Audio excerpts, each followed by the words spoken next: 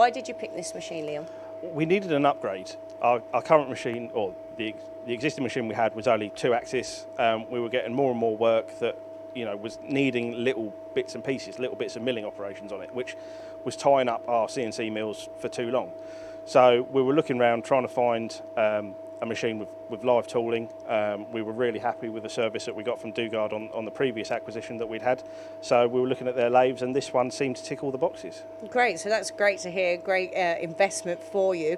It come with everything included, didn't it? So Yeah. talk to me about what chuck you've got on there, what live tooling you've got on there, because that's what makes the process of an engineering story. So we've got a Hainbuch um, collet chuck on there that came, you know, with the price. So we've got multiple collet sizes we can put in there, which allows us to hold up to 65 mil diameter bar. We've got a bar puller on there as well, to instead of a bar feed, so it will come in and pull out the bar individually.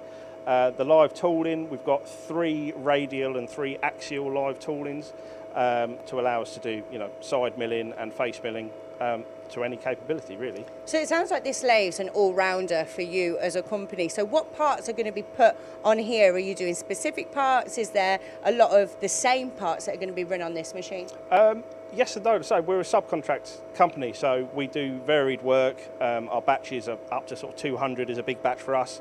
Um, so it's just a bit of everything, really. There's no one product that we bought it for. It was just to help our production go quicker. So when the machine got dropped off, how quick was it up and running? Because I know Dugard are really good for dropping it off and being up and running really Yeah, quickly. Within 24 hours.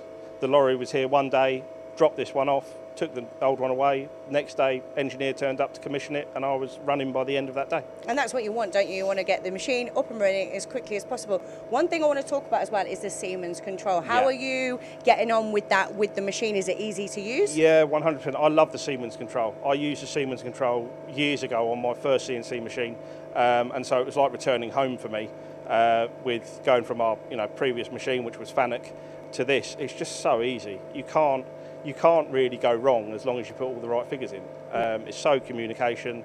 Um, everything on it is just really easy. Touch screen, nice big touch screen, soft key buttons. You know, it's all all there. So it sounds like a really good investment for you as a customer. You're really, really happy with it. Yep. Um, another thing I want to talk about is the parts catcher. How much of a benefit is that to you? Yeah, massive, massive. Like you say, um, I'll be honest, it doesn't work every time, but but when it does work, it really helps on, on a production run. You know, you put a meter of material in, tell it to do 50 parts, and then you can just you're not scrambling around in the bottom of the machine or losing them in the conveyor. They're all just there, ready to go.